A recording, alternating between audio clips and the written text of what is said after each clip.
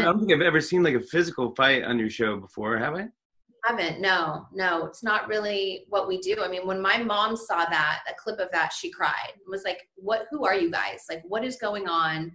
Kourtney and i obviously are fine now but we we shut down production for a week after that. I think everyone was really like shook for a minute and just was like this isn't like our type of show like what's happening? We, we want everyone to be comfortable and safe. And so um but you know that happened and i don't really ever resort to violence like that but she scratched me so hard which you guys didn't see. I had like ble- i was bleeding and so you didn't really get to see that detail when but when i looked down at my arm and i saw like she had really scratched me and i felt it all on my back i just you know went over and slapped her back. So it's not like my proudest moment but we were going through it and she's made the decision to take time off now and i think